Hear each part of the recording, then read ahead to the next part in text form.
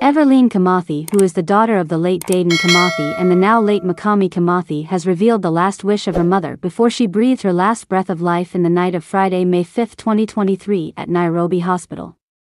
Everline said, her last wish was to have the body of her husband moved from Kamiti Maximum Prison and buried at a different place by the government. It has been rumored that the body of the late Mau Mau freedom fighter Dedan Kimathi was buried in Kamiti Maximum Prison after he was sentenced to death by hanging in the year 1957.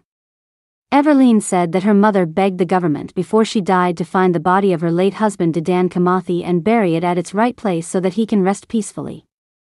Will the government of Kenya find the body of the late Dedan Kimathi and bring it home for burial considering the fact that no one knows the exact burial place of Dedan Kimathi?